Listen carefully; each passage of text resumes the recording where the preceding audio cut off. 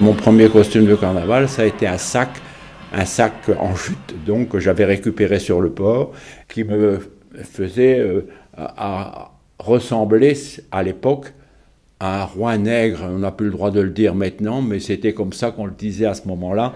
Et donc avec les plumes sur la tête, etc. Donc j'ai gardé ce costume pendant toute ma carrière et encore maintenant, l'année dernière, j'ai mis ce costume.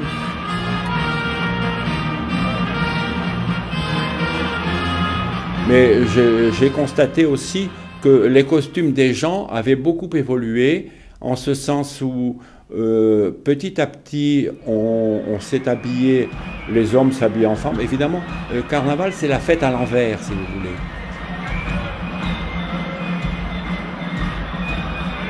Ces costumes ne sont pas les mêmes que l'on pratique dans les balles et qu'on pratique dans les, dans les bandes. Parce que dans les balles, on, prend beaucoup plus soin de son costume, on, enrichit le costume avec euh, des choses moins fragiles. Et dans la bande, évidemment, on se fait un peu bousculer par la promiscuité, par la, les chahuts, etc. Donc euh, il ne faut pas avoir peur d'avoir un costume euh, qui soit costaud d'abord et dans lequel on se sente très à l'aise on peut se déguiser uniquement avec un chapeau. Euh, donc il y a des gens qui ne mettent qu'un chapeau à carnaval.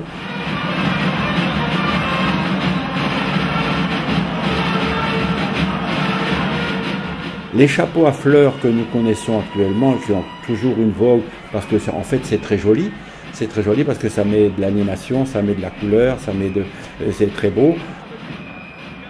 Et ce chapeau a été lancé par le groupe euh, chansonnier dunkerquois qu'on appelle les Proutes.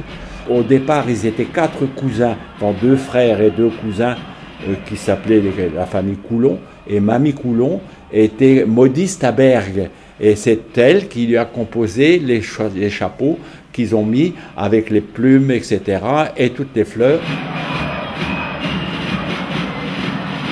Évidemment, on, retrouve toujours des Écossais, on retrouve toujours des Chinois, on retrouve toujours des, gens qui ressemblent à rien.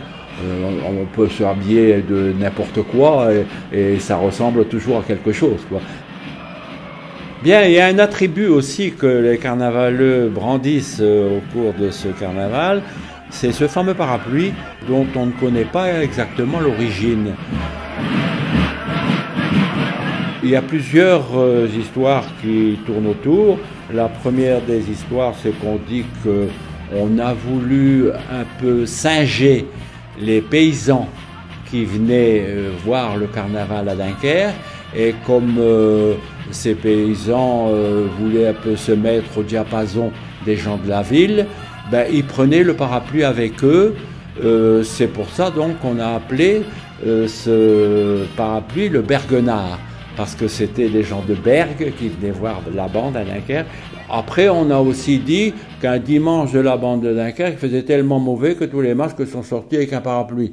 Mais c'est pas vrai parce qu'à l'époque, du fait que le carnaval était beaucoup moins étendu que maintenant, eh bien, le jour du carnaval, quand il faisait mauvais, il était reporté au dimanche suivant. Et la troisième solution qui, je crois, est la plus crédible, c'est que c'est un attribut de royauté.